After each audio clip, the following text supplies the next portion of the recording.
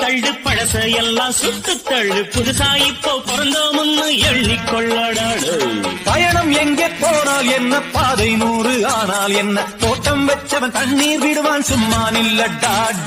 ஊத காத்து வீச உடம்புக்குள்ள கூச குப்ப கூடம் பத்தர் வச்சு காயலா.